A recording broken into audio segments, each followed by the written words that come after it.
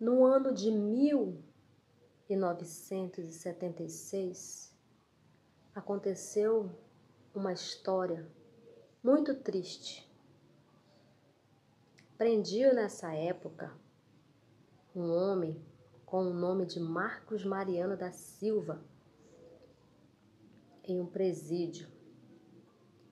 Ele ficou preso por 19 anos que na realidade, cara, esse cara, ele era inocente.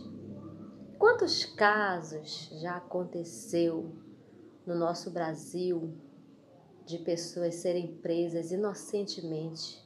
Um dia desse aí, de um rapaz que foi preso inocentemente. Só o que eu quero falar desse cara, desse Marcos Mariano. A sua prisão aconteceu nesse ano de 1976. Ele ficou preso 19 anos ali. E você sabe o que aconteceu com ele nesses 19 anos?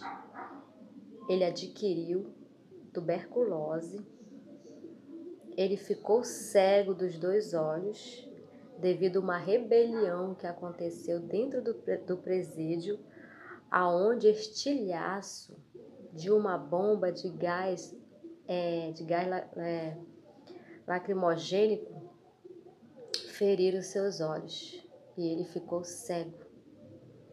Aí o tribunal e tal, com tanta coisa, vai, entra e sai, arquivo, resolveram soltá-lo porque viram que ele era inocente.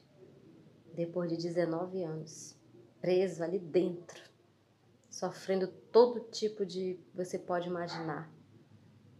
Ele saiu. E então eles resolveram indenizar ele com 2 milhões de reais.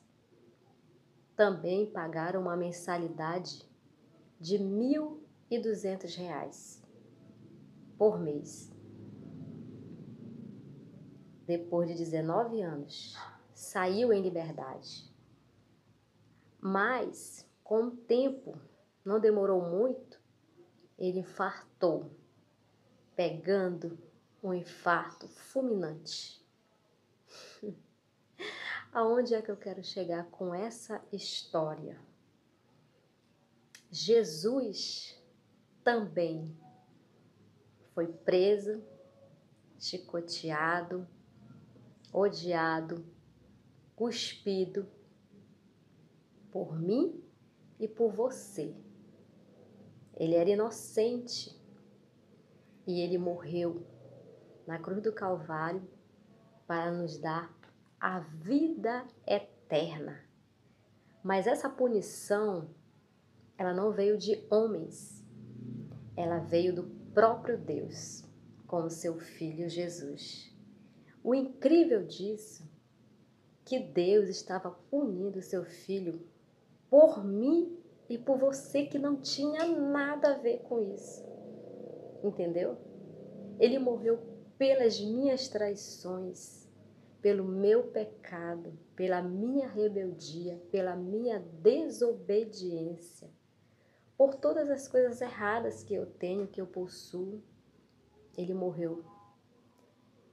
E hoje você pode entrar de graça por esse caminho em conhecer Jesus e como ele é, como Deus o criou. Faça essa decisão hoje em sua vida. Seja agradecido a Deus pela sua vida Dobre o seu joelho hoje mesmo, aí onde você está, para receber do Senhor Jesus no seu coração. Ele está 24 horas do dia. Ele é onisciente, onipresente, onipotente. Ele é tudo. Aceite a Jesus como seu Salvador e a sua vida nunca mais será a mesma.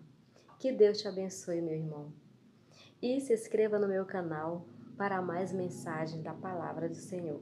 Amém? Que Deus abençoe o seu dia.